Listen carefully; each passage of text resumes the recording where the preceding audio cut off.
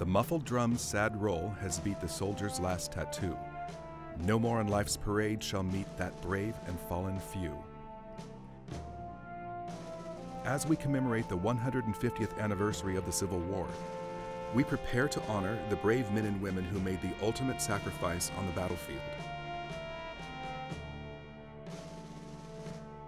Three years after the end of the Civil War in 1868, Decoration Day was founded as a time for the nation to come together to decorate the graves of veterans with flowers.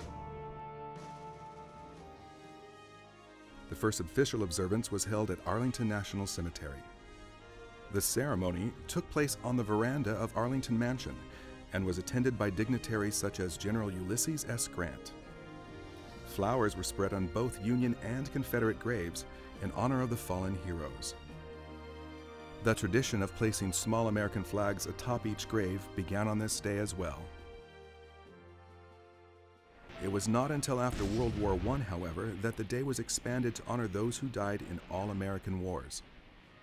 In 1966, President Lyndon Johnson declared that the official birthplace of Memorial Day be Waterloo, New York, where local Civil War veterans were honored in 1866, 100 years earlier.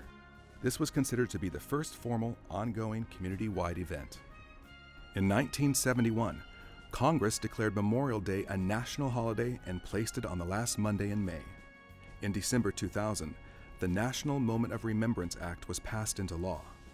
This National Moment of Remembrance encourages all Americans to pause for a minute of silence to remember and honor those who have died in service to the nation.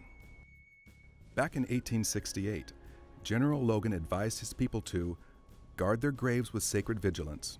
Let no neglect, no ravages of time testify that we have forgotten the cost of a free and undivided republic.